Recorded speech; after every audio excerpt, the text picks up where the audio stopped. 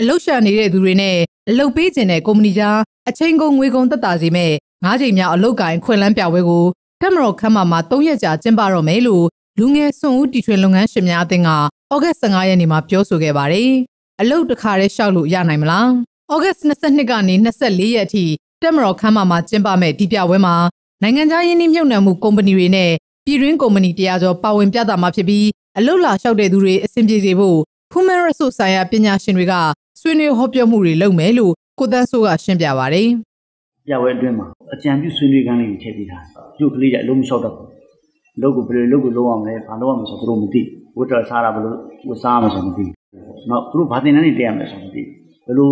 အလုပ်ကံသူ့ရဲ့ဘဝ life ကို promote လုပ်အောင်ဆိုမသိဘူး။ဒါမျိုးတွေကိုတို့ကကျွမ်းကျင်တဲ့ပညာရှင်ရှိ HR နဲ့ပတ်သက်တဲ့ specialist တွေခေါ်ထားတယ်။ နောက်တစ်ခုကကြတော့သူတို့ဒီတင်းတဲ့လုပ်ငန်းရှင်တွေအများကြီးရှိတဲ့အတွက်အဲ့လုပ်ငန်းရှင်တွေကနေပြီးတော့မှချိန်ပေးပြီးတော့သူတို့နှစ်ပညာပေးဆွေးနွေးတာပေါ့နော်ဘယ်လိုလုပ်အောင်လဲဘယ်လိုလုပ်စကားညွှန်ပေးတဲ့ခန္ဓာတွေထည့်ထားကုမ္ပဏီတွေအနေနဲ့လက်လက်နေတဲ့နေရာမှာတခါတည်းရွေးချယ်လို့ရအောင်ဒီလိုလောက်ကင်ပြပွဲကိုစက်တိုက်လုပ်ပေးတာဖြစ်ပြီးအလုပ်လိုနေသူတွေကလည်းကိုဝါသနာပါတဲ့ကျွမ်းကျင်တဲ့လုပ်ငန်းမျိုးတွေမှာတဆင်ပြီးတဆင်ပြင်ဆင်ကြဖို့နဲ့ပြည်ပနဲ့ပြည်ရင်းကုမ္ပဏီတွေများလာတာကြောင့်အရေးချင်းရှိရင်အလုပ်မရှားပါဘူးလို့ UMSCCI မှာပြုလုပ်တဲ့ သတင်းစာရှင်းလင်းပွဲမှာမတ်တင်းတင်းဆက်ကပြောပါတယ်။ကုမ္ပဏီပေါင်း40ကျော်ရဲ့ထုတ်လုပ်မှုဝန်ဆောင်မှုနဲ့ကုန်သွယ်မှုပိုင်းတွေကိုဒီပြပွဲမှာပြတ်သားသွားဖို့ရှိပြီးအလုပ်ရှင်တွေကလည်းနိုင်ငံတကာအလုပ်သမားစီးမြင့်တွေလိုက်နာဖို့လိုသလိုအလုပ်သမားတွေကလည်းကျွမ်းကျင်ဝန်ထမ်းဖြစ်အောင်စူးစမ်းဖို့လိုတယ်လို့ဆိုပါတယ်။အထူးကတော့မိမိကျွမ်းကျင်တဲ့ဘာသာရပ်မှာမိမိကိုမိမိ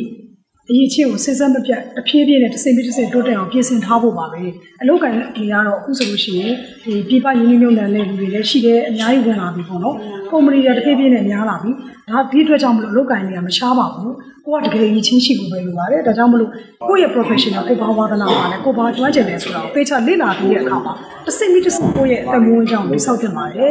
အလုပ်ရှင်တွေကလည်းအလုပ်ရှင်တွေရဲ့အပိုင်းက တာဝန်ကျေပွားမှာဖြစ်တယ်လို့လူသမားတွေအပိုင်းရတယ်လူသမားတွေတာဝန်ကျေပွားမှာဖြစ်ပါတယ်အလုပ်ရှင်တွေလည်းဘာလို့ပြင်ဆင်ထားတယ်လဲဆိုတော့နိုင်ငံတကာမှာရှိတဲ့